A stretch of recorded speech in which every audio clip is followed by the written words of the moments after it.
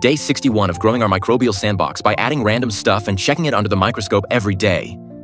By the way, I don't see the mosquito larvae today. Is the environment too harsh for it to live? Anyway, let's see what microorganisms are growing today. I do see different types of microorganisms, but the number significantly decreased. I assume it's because the salmon piece I added was too large. A large amount of protein was broken down by bacteria into toxic byproducts such as ammonium. I think I need to dilute it immediately. I found this microorganism. Its movement is super fast like a ninja. Even the camera cannot capture its full speed clearly. Okay, remember yesterday we mixed a portion of the sandbox with simulated seawater? Let's check the result. I found most microorganisms died except these small ones. It seems only this species can survive in both fresh and seawater. Let's add more stuff into the sandbox.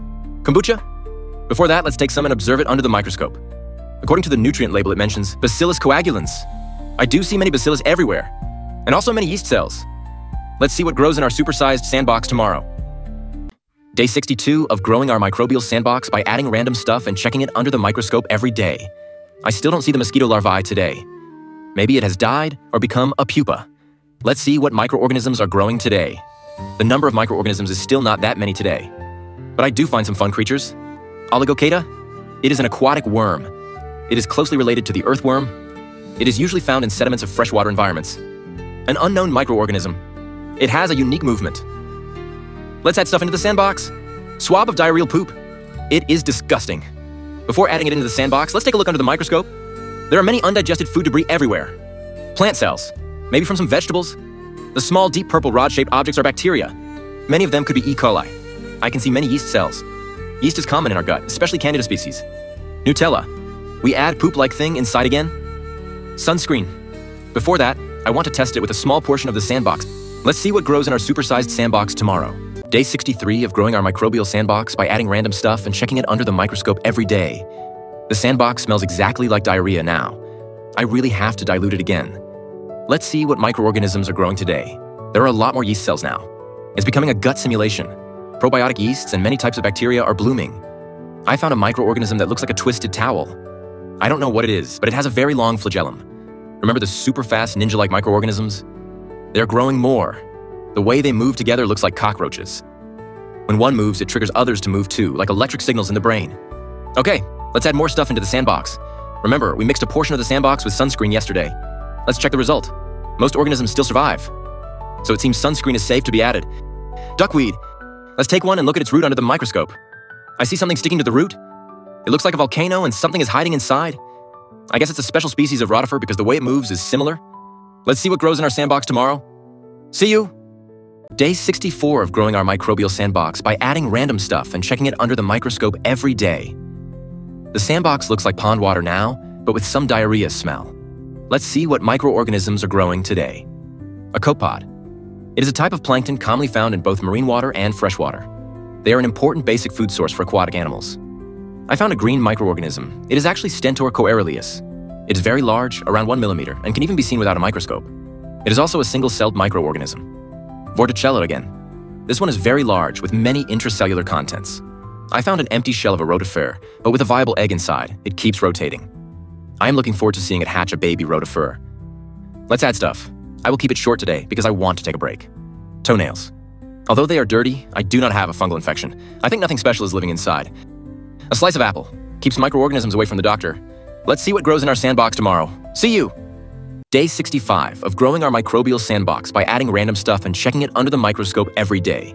Thank God the diarrhea smell has gradually disappeared. Let's see what microorganisms are growing today. I found some gigantic spirochetes. I seldom see bacteria clearly under 100 times magnification. This one is really a large one. I found a predator again. This one is Lacrimaria olor. It has a retractable neck at the front, and the neck can extend up to seven times the length of the body. When the tip of the neck touches the prey, it releases toxins that paralyze the prey. It then uses the tip of the neck to grab the prey and eat it. Because of its color, I can tell this one is Stentor coeruleus, the giant ciliate that we found yesterday. However, its shape looks totally different. I think this one is abnormally developed. Let's add stuff. Raw beef. Although it is rare, can we add parasites into the sandbox? Cat food. It contains various nutrients and vitamins. Cough syrup. Before adding it in, I think we had better test it with a small portion of the sandbox first. Let's see what grows in our sandbox tomorrow. See you? Day 66 of growing our microbial sandbox by adding random stuff and checking it under the microscope every day. A lot of you want me to look at the bottom of the sandbox. Let me buy a longer pipette first. Let's see what microorganisms are growing today. I found a big Stentor coeruleus again. This time, I was able to zoom in and clearly see its internal structures. There are many vacuoles inside, storing nutrients and metabolic wastes. I found a large ciliate. I guess it is a paramecium species, but I'm not quite sure. I found another species of Stentor. Unlike Stentor coeruleus, this one does not have any green pigment. Actually, non-pigmented Stentor is more common. Let's add stuff. Remember we mixed cough syrup in part of the sandbox yesterday? Let's check the result. It seems most microorganisms are still surviving. I think it is safe to add the mixture into the sandbox. Rotten fruit.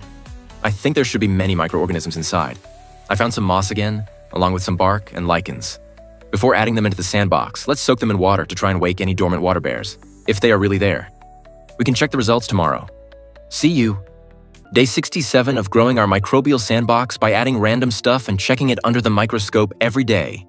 I'm sorry I forgot to loosen the cap yesterday. I hope the microorganisms are still doing fine. Let's see what microorganisms are growing today. I found many Vorticella again, and I found this one. It should be Halteria, a ciliate known for its jumping motion. However, this one was stuck in organic debris. It is fun to see other ciliates get trapped in the turbulence created by Stentor. I found another egg. Something was moving inside. I guess this is a rotifer egg. Yesterday I prepared some moss and lichen. Unfortunately, I still cannot find any water bear. I just found some mysterious creatures like this. Please tell me what it is if you know.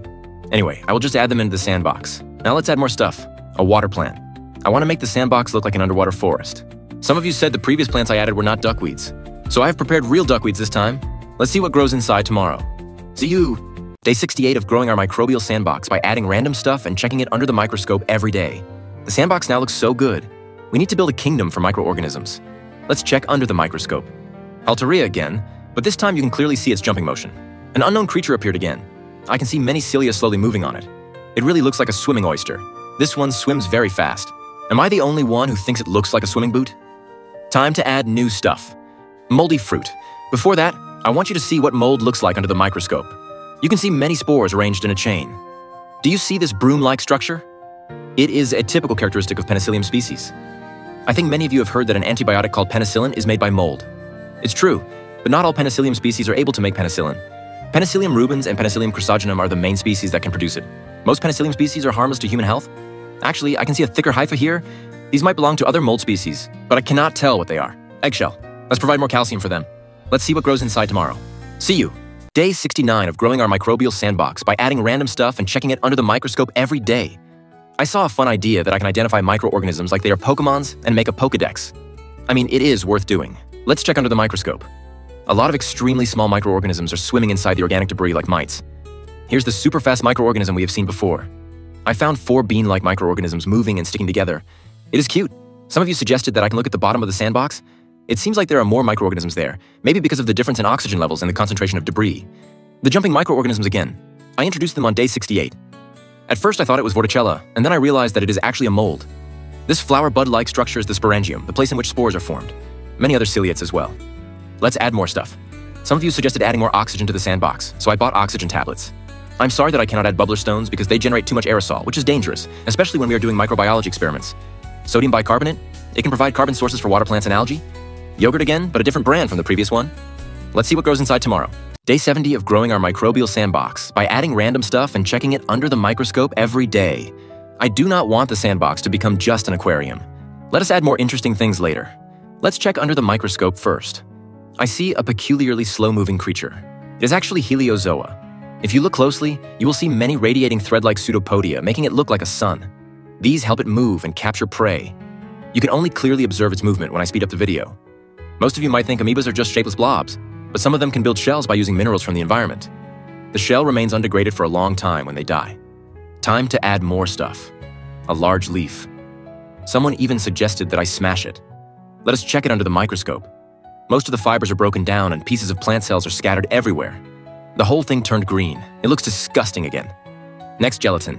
I hope it will not become microbial jelly. Finally, water from a fish tank. Recently, there's been a lot of algae in the tank. Let us see what grows inside tomorrow. See you.